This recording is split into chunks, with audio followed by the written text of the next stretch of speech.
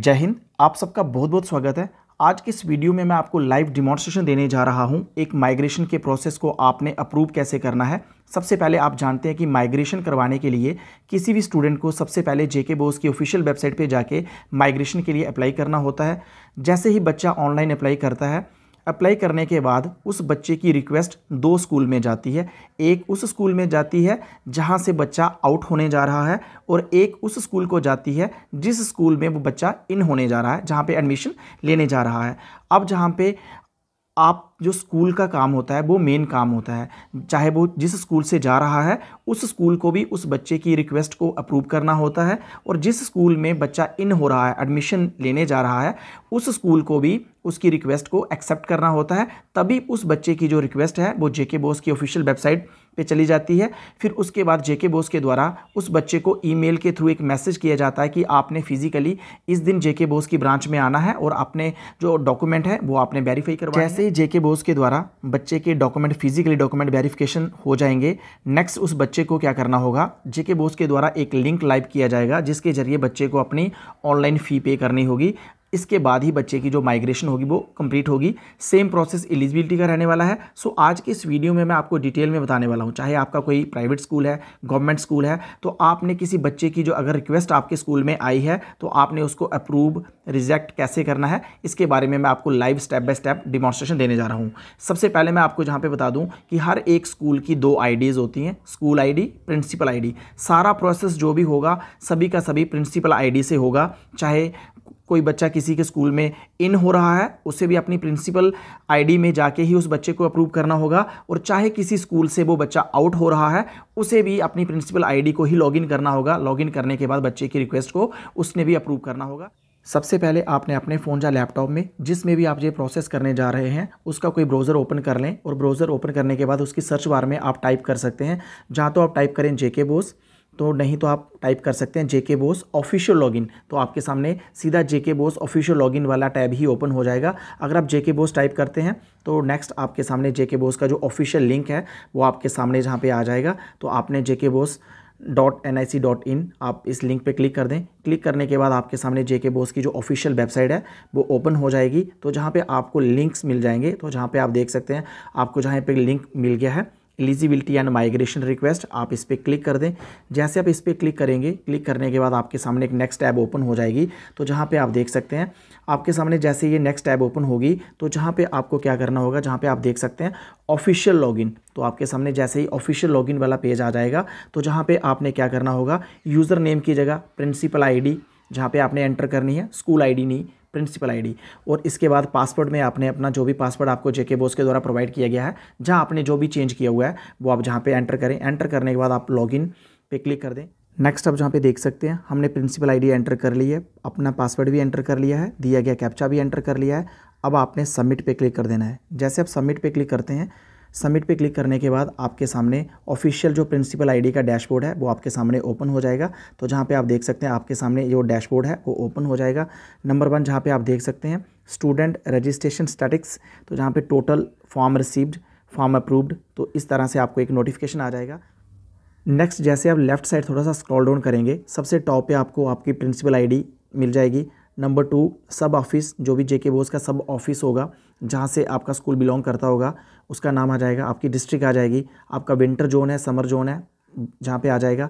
Next dashboard approve student push data to board जैसे हम जेके बोस में अपने एग्जामिनेशन फॉर्म फिल करते हैं तो डाटा को किस प्रकार से पुश किया जाता है, इस ऑप्शन से किया जाता है।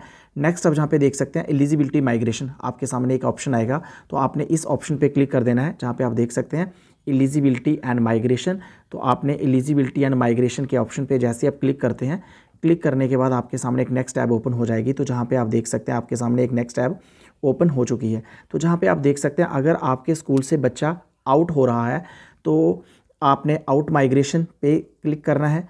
अगर आपके स्कूल में बच्चा आ रहा है किसी दूसरे स्कूल से तो आपने, अगर उस डाटा को देखना है तो आपने इनकमिंग माइग्रेशन रिक्वेस्ट पे क्लिक करके शो डाटा पे क्लिक करना है। अगर कोई बच्चा एलिजिबिलिटी वाला है, जैसे कि वो किसी सीबीएसई e या अनदर बोर्ड से जेके बोस में आना चाहता है तो वो उसकी रिक्वेस्ट आपको एलिजिबिलिटी रिक्वेस्ट में मिलेगी। जैसे कि हमारे केस में अगर बच्चा हमारे स्कूल से जा रहा है तो हम आउट माइग्रेशन रिक्वेस्ट को चेक करेंगे कि हमारे स्कूल में कोई ऐसी रिक्वेस्ट तो नहीं आई है। तो जैसे आप इस पर क्लिक करेंगे क्लिक करने के बाद आपने जहाँ पे शो डाटा पे क्लिक कर देना है स्कूल में अप्लाई किया है तो आप देखें तो आपने उसका डाटा जो इनकमिंग रिक्वेस्ट में होगा, वहाँ से आपने उसका अप्रूव करना है। तो जहाँ पर आप देख सकते हैं कि एक बच्चा जो किसी स्कूल से जा रहा है, दोनों स्कूल क्या करेंगे सेम टाइम पर जैसे ही बच्चा ऑनलाइन माइग्रेशन के लिए अप्लाई करता है, दो स्कूल्स में, जिस स्कूल में वो प्रेजेंटली है, जिस स्कूल से वो जाना चाहता है, उसको भी एक रिक्वेस्ट जाती है और जिस स्कूल में वो जाना चाहता है, उसको भी एक रिक्वेस्ट जाती है। जहाँ से बच्चा जा रहा है, उसने आउट माइग्रेशन को चेक करना है। जिस स्कूल में जा रहा है, उसने अपनी प्रिंसिपल आईडी से इनकमिंग रिक्वेस्ट को चेक करना है। तो जहाँ पे आप देख सकते हैं, हमने आउट माइग्रेशन पे जैसे सिलेक्ट किया तो जहाँ पे हमें मिल गया कि एक बच्चा ने जो रिक्वेस्ट डाली हुई है, वो हमारे स्कूल से जाना चाहता है तो उसकी रिक्वेस्ट जहाँ पे आई हुई है तो जहाँ पे आप देख सकते हैं, बच्चे की पूरी डिटेल जहाँ पे आ जाएगी। जैसे आप इस यहाँ पे व्यू पे क्लिक करेंगे तो आप देख सकते हैं बच्चे की पूरी डिटेल कि कौन सा बच्चा आपके स्कूल से माइग्रेट माइग्रेशन तो जहाँ पे आप देख सकते हैं उस स्कूल में जिस स्कूल में वो जाना चाहता है उस स्कूल का नाम भी आपको जहाँ पे मेंशन हो जाएगा। इस तरीके से उसके डाटा को आप जहाँ से क्लोज कर सकते हैं। अगर उसकी रिक्वेस्ट को आपने जहाँ से रिजेक्ट करना है तो आप रिजेक्ट पे क्लिक करेंगे तो बच्चे की पूरी मेहनत जहाँ से उसकी रिक्वेस्ट रिजेक्ट करने से आपने उसको डिसअप्रूव कर दिया है। अगर आप जहाँ से अप्रूव ही आप करना चाहते हैं तो आप जैसे अप्रूव पे क्लिक करेंगे, बच्चे की जो रिक्वेस्ट है, वो आपके एंड पे अप्रूव हो गई है। इसी तरह से आपके स्कूल से बच्चा आउट हो गया, आपने उसकी उसको अनुमति दे दी। अब जिस स्कूल में बच्चा इन होने जा रहा है, उस, उसके पास भी सेम रिक्वेस्ट जाएगी, लेकिन उसको जो चेक करना होगा, उसको चेक करने के लिए इनकमिंग रिक्वेस्ट पे ही क्लिक करना होगा, तभी उसे इस बच्चे का डाटा शो होगा और उस स्कूल को भी अपनी रिक्वेस्ट को यहाँ पे इसको अप्रूव करना होगा। जैसे ही अप्रूव होगा फिर ही उस बच्चे का डाटा जो कि जेके बोस की ऑफिशियल वेबसाइट पे जाके वो आ, चला जाएगा और जेके बोस की तरफ़ से बच्चे को ईमेल के थ्रू उसे एक डेट दी जाएगी कि इस डेट को आपने जेके बोस की, जिस, जो भी ब्रांच में आपने अप्लाई किया है, जिस ब्रांच में आप फिजिकली डॉक्यूमेंट वेरिफिकेशन करवाना चाहते हैं, उस बच्चे को वहाँ पे बुलाया जाएगा।